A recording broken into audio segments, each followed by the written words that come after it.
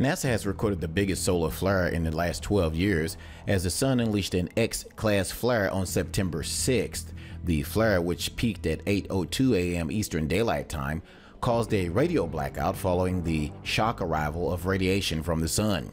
The solar flare was the largest recorded since September 2005 when an X-17 was released. A X-class represents the most intense solar flares with an X2 being twice as intense as an X1. The largest solar flare ever recorded was an X20 in April 2001. The latest flare, an X9.3, was the second in a series of solar flares, with another smaller X2.2 recorded three hours earlier.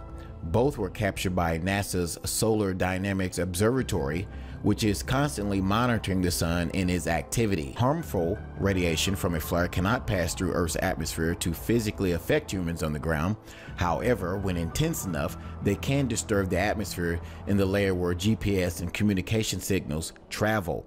The space agency had said in a statement. The strong geometric storm warning issued by NASA is, as of September 7th, still in effect and will continue to be over the next few days.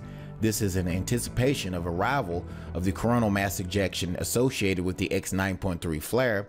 Analysts indicate likely CME arrival late on September 8th into early September 9th, NASA said. CMEs and solar flares are different, but often occur at the same time when it comes to the stronger solar flares. Both are created when the sun's interior contorts its own magnetic fields. As the magnetic field snaps like a rubber band, it releases a large amount of energy into space.